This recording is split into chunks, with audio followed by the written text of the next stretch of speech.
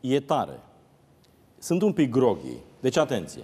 Se face scandal toată ziua că au depus o plângere la DNA pe numele premierului și organele de propagandă spun că s-a început un dosar pe numele premierului pentru achiziția de vaccinuri.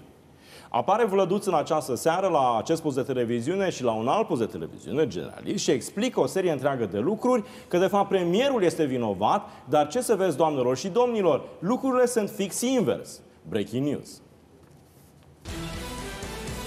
Doamnelor și domnilor, începem să prezentăm documentele pe care vi le-am uh, anunțat în această seară și vreau înainte de toate să vedem semnătura domnului Vlad Voiculescu, zis și Vlăduț, uh, un om de omenie care, iată, îl vedem acest document, vedem semnătura domnului Vlad Voiculescu pentru România, pentru statul membru participant. Vlad Vasile Voiculescu, ministrul sănătății. Legea ne obligă să blurăm semnătura, ceea ce noi facem și domnia sa, cu mânuța domniei sale, care a semnat multe lucruri, multe lucruri pentru o serie întreagă de oameni de bine, scrie așa, conform memorandumului numărul 20 și așa mai departe. Memorandum pe care el l-a inițiat, pe care el l-a dus în guvern și întreaga acțiune fiind a domniei sale. Da? Acum întrebarea este, pentru ce a semnat domnul Vlăduț?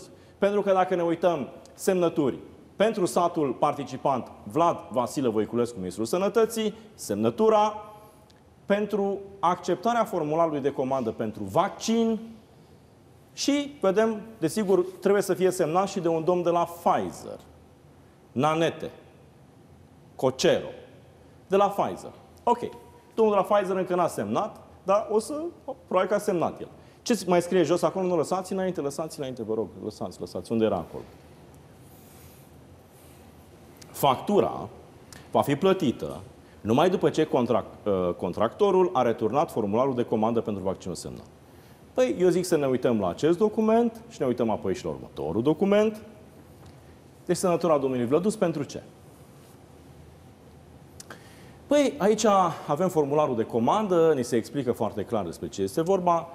Înaintarea prezentului formular de comandă pentru vaccin din partea statului membru participant către contractor reprezintă comandă fermă, cu caracter de obligativitate din partea statului membru participant, în vederea achiziționării tranșe alocate din dozele uh, contractate sau din comanda adițională în funcție de caz, după cum urmează. Deci, atenție, a semnat formularul de comandă pentru vaccin din partea statului membru, din partea României, comandă fermă cu caracter de obligativitate din partea statului membru participant.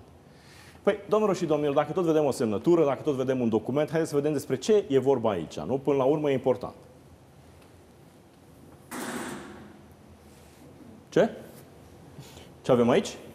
Suma totală plătibilă de către statul membru participant pentru dozele contractate este de 124 de milioane 858.607 euro fără TVA. Păi să mai puțin.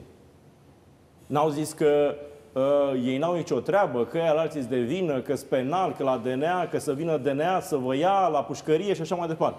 Păi omul semnează suma totală plătibilă de către statul membru participant pentru dozele contractate este de 124 de milioane 858 de mii 607 euro, fără TVA. Hm? Sigur că ne arată și pe trimestre cum ar trebui să fie uh, dozate aceste, livrate aceste doze. E, e important totuși pentru că domnul uh, Vasile da. A fost ministru în primul trimestru din 2021 da. și a semnat de 124 de milioane pentru tot anul. Pentru Oricine vine nu mai contează. Trimestru 2, trimestru 3, trimestru 4 și cum ați scris acolo, odată semnat, te-ai obligat că și plătești. Așa scrie în contract acum cu Pfizer. Și acum totuși, cât de securist prost trebuie să fie? Ce așa, spus, cum? Cât de securist prost trebuie să fie la modul general așa? În general, da. Să bași chestia asta, cum a, cum a zis el, i-a zis Dudui la videocet, că nu crede că e cu corupție și cu comisioane. Sincer să fiu, nici eu nu cred că într-o afacere de asta Uh, mediată cumva și uh, lucrurile stabilite de Comisia Europeană, poate să vină ăla de la Pfizer cumva, să vină în România să vă spună, vă luați mai multe doze că vă dau eu o șpagă. Mă îndoiesc. Nu pot să excluzi nimic, dar eu mă îndoiesc. E vorba aici doar de cum și-au dozat ei, cum s-au gândit ei, cât o să folosească, cât asta. Și sigur au comandat mult mai mult, pentru că câțul de data asta zicea, dar nu-l contrazicea asta, că în septembrie o să avem 10 milioane și ceva de vaccinați. Ori noi avem jumate. E clar că ei au comandat vaccinuri pentru cel puțin 10 milioane și ceva de vaccinați, deci au comandat cel puțin dublu față de cât au folosit. Dar revin la uh, sintagmă. Cât de securist prost să fii, nu mă refer, vă dați seama la domnul uh, Vasile, dar în general, general așa, da. să bagi pe combinația asta și o pârlă asta, mamă, e acolo, a comandat câțu multe dale, să, milioane. Să cineva să facă plângeri la DNA ca să ai motiv de, de milioane, să bagi la DNA, a, a zis ăsta că nu, că nu el, el nu știe de plângere, că n-a făcut Normal, plângerea, da. ok.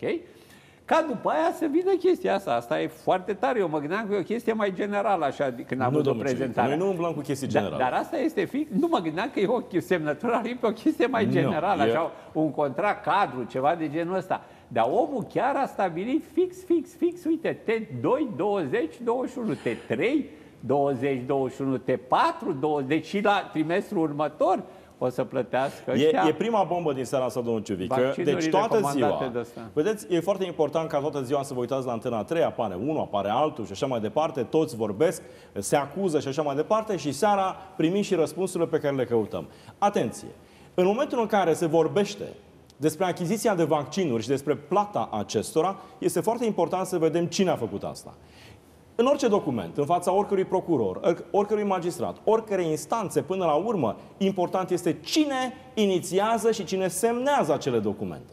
Toată ziua, și impresia mea este că, de fapt, acest asalt cu DNA-ul, cu suspendarea și așa mai departe, sunt pe această zonă de amenințare, de manipulare a opiniei publice, de presiune, de presiune uriașă. Când te uiți în documente, vezi că cei care acuză sunt, de fapt, cei care au făcut lucrurile astea. Semnătura domnului Vlad Voiculescu, pe care o puteți vedea în calitate de ministru, reprezentând statul uh, membru, nu? Statul membru România, semnează pentru România și o să vedeți dumneavoastră ce a mai semnat domnul Vlad Voiculescu. O să vedeți dumneavoastră ce a semnat doamna pe care a pus-o Vlad Voiculescu împreună cu Dacian Cioloș, Ministerul Sănătății fiind sfânt pentru cei din această zonă, cu, uh, desigur, conexiunile știute și răsștiute. Deci domnia sa semnează pentru întregul an nu doar pentru o, o tranșă, pentru întregul an, vedeți, uh, modul în care uh, sunt livrate dozele sau trebuie să fie livrate în conformitate cu acest contract cu cei de la Pfizer. Și vedem vedem că e vorba de suma pe care domnul Vlad Voiculescu angajează România să o plătească de 124 de milioane 858 de mii 607 fără TVA. Prima